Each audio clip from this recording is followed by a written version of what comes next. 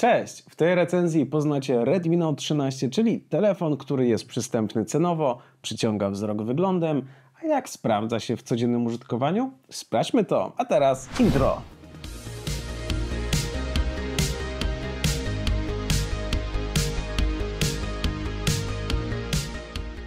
Najnowsza seria Redmi Note 13 stawia na ciekawy i atrakcyjny design. Oferowany w przyjemnej kolorystyce, dzisiejszy bohater zdecydowanie nie sprawia wrażenia, że jest tanim telefonem. Eleganckie, płaskie ramki, ekran wypełniający niemal cały front i ciekawie zaprojektowane aparaty i jeszcze mieniący się w świetle tył telefonu przykuwają wzrok. Materiały wykonania to plastik na ramkach i pleckach, natomiast front chroni szkło Gorilla Glass 3. Telefon jest dobrze spasowany, a ponadto jest odporny na zapylenie i zamoczenie według certyfikacji IP54, co jest plusem. Ekran jest dodatkowo zabezpieczony fabryczną folią ochronną, a w pudełku znajdziemy jeszcze bardzo porządne etui. Mi trafiło się grafitowe, ale nie mam informacji, czy takie otrzymuje się przy każdym z kolorów. Na górnej ramce dzieje się sporo. Mamy tu od lewej gniazdo na kablowe słuchawki, dodatkowe otwory do głośnika górnego, diodę IR do sterowania urządzeniami i mikrofon. Z boku znajdują się dobrze umiejscowione przyciski głośności i odblokowania, a na dolnej ramce znajdziemy główny głośnik systemu stereo, drugi mikrofon USB typu C i hybrydowy slot SIM, czyli używamy dwóch kart SIM albo jednej i mamy jeszcze miejsce na kartę microSD. Na dole ekranu znajduje się szybki i precyzyjny czytnik linii papilarnych. To co mnie zaskoczyło to to, że jest on umiejscowiony odrobinę wyżej niż to zazwyczaj bywa w tych tańszych smartfonach.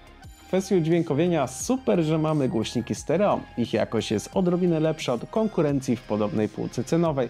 Grają głośno i wyraźnie, ale trochę brakuje im większej głębi i podbicia basowego. Jedną z głównych zalet dzisiejszego bohatera jest jego ekran. Xiaomi zaprezentowało nam AMOLED Full HD Plus o rozmiarze 6,67 cala z adaptacyjnym maksymalnie 120 Hz odświeżaniem i jasnością maksymalną, uwaga, 1800 nitów, co w tej cenie jest niespotykane. Ekran świetnie sprawdzi się nawet na plaży w pełnym słońcu, dalej będzie czytelny. Ze względu na to, że to AMOLED, mamy oczywiście żywe, pięknie nasycone kolory i głęboką czerń.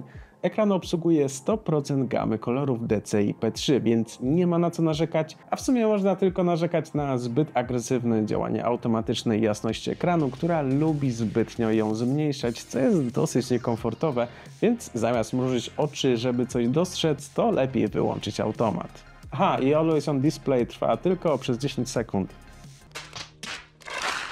Skoro Xiaomi nie oszczędzało na ekranie, to gdzieś trzeba było przyoszczędzić i wychodzi na to, że postawili na procesorze. Jest nim wykonany w 6-nanometrowym procesie litograficznym Snapdragon 685, a wspiera go 6 GB pamięci RAM w technologii LPDDR4X z opcją dopalenia kolejnymi 4 GB z pamięci masowej. Procesor nie obsługuje sieci 5G, więc foliowe czapeczki można schować do szuflady. A teraz już na poważnie. W testach syntetycznych Geekbench 6 mamy następujące wyniki wyniki 472 punkty na pojedynczym rdzeniu i 1525 na multi, więc nie jest to najmocniejsza jednostka. Ale nie zrozumcie mnie źle, bo nie chodzi o to, że ten telefon strasznie zamula, zawiesza się i długo czekamy na otwarcie aplikacji. Pod względem takiego zwyczajnego, pospolitego działania nie odbiega od konkurencji, no może odbiega od modeli ze Snapem 695, który powinien się tu znaleźć. Problem pojawia się przy grach, otóż Diablo Immortal już na starcie informuje nas o tym, że nasz telefon może nie do końca się z nią dogadać i podczas grania pojawiają się mini przycięcia.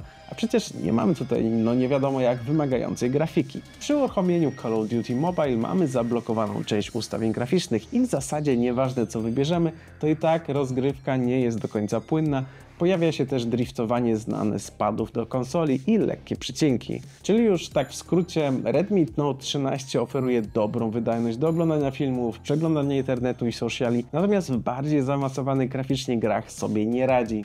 Plusem jest odpowiednie zarządzanie temperaturą, bo nawet podczas mocnego katowania telefonu ani razu nie zrobił się gorący. Pamięć wewnętrzna wynosi 128 GB i jest w technologii UFS 2.2, czyli już nie najszybszej, ale adekwatnej do ceny urządzenia. Plusem jest, tak jak wspomniałem wcześniej, możliwość rozbudowy za pomocą pamięci microSD. Co do baterii, to mamy solidne ogniwa o pojemności 5000 mAh. Ładowanie odbywa się tylko kablowo z mocą 33 W, przez co naładowanie telefonu trwa około godzinę i 10 minut. Telefon spokojnie wytrzymuje cały dzień średnio intensywnego użytkowania, a kolejne ładowanie można spokojnie zacząć w południe następnego dnia. Jeśli chcemy podziałać na nim przez półtora dnia, to polecam nie szaleć z jasnością ekranu i zmniejszyć częstotliwość odświeżania do 60 Hz. Co do komunikacji, to telefon obsługuje 4G, dwuzakresowy Wi-Fi, NFC do płatności zbliżeniowych, a jeśli interesuje Was eSIM, to ten model go nie obsługuje. Przechodzimy do aparatów. Zaczynamy od 16-megapikselowego aparatu selfie ze światłem 2.4.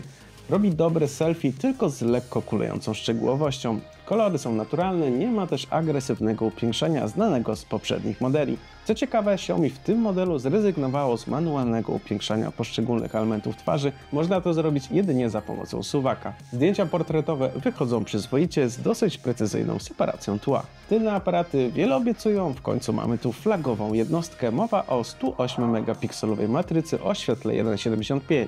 Ilość detali, jaka jest rejestrowana, naprawdę robi wrażenie, zwłaszcza gdy korzystamy z trybu wykorzystania pełnej mocy matrycy. Dynamika mogłaby być odrobinę wyższa, natomiast kolorystyka w większości przypadków jest na zadowalającym poziomie, chyba że mamy wyjątkowo szarobury i pochmurny dzień, bo wtedy kolory wymagają manualnego podbicia w edytorze zdjęć. W kwestii przybliżenia mamy bezstratny zoom do trzykrotnego przybliżenia, a im większe, tym bardziej spada szczegółowość obrazu. Maksymalny zoom jest dziesięciokrotny. Zdjęcia nocne robione Redmi Note 13 są całkiem pozytywnym zaskoczeniem. Matryca potrafi wyciągać detale z mroku, plus ładnie podbija kolory. Ostrość jest zadowalająca do momentu, aż nie zaczniemy powiększać obrazu, ale jeśli zdjęcia mają być tylko publikowane w waszych socialach, czyli wyświetlane głównie na smartfonach, to nikt się nie dopatrzy, że czegoś im brakuje. Aparat nie posiada optycznej stabilizacji, dlatego jeśli chcemy mieć najlepsze efekty, to polecam zdjęcia ze statywu albo jakiekolwiek inne solidne oparcie dla telefonu. Kolejny obiektyw to 8-megapikselowa ultraszerokokątna jednostka ze światłem 2.2.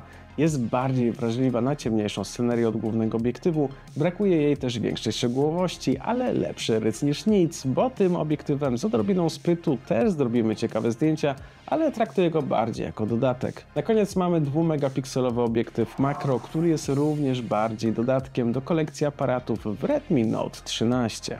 Kwestii filmów nagramy je maksymalnie w jakości Full HD z 30 klatkami na sekundę. Od razu polecam kręcenie filmów statycznie, ponieważ w ruchu często autofokus wariuje i potrafi zblurować nam całe ujęcie. Jakość nagrywania oceniam na podstawową i liczę na to, że Xiaomi naprawi problem z trzymaniem ostrości w nagraniach. Ok, przechodzimy do podsumowania. Czas na zalety tego modelu, a są to dobra cena, atrakcyjny design, dobrej jakości etui w zestawie i folia ochronna na ekranie, certyfikat IP54, ekran AMOLED ze 120 Hz i wysoką jasnością, głośniki stereo, bateria 5000 mAh, aparat ze 108 megapikselową matrycą, trzykrotny bezstratny zoom. A teraz pora na wady, a są to Snapdragon 685, który nie radzi sobie w bardziej zaawansowanych grach, zbyt radykalnie działająca automatyczna regulacja jasności, filmowanie tylko maksymalnie Full HD z 30 fps, brak SIMA. To by było tyle na dziś. Zapraszam Was jeszcze do lajkowania, subskrybowania, bijajcie na Insta. Widzimy się już wkrótce. Cześć!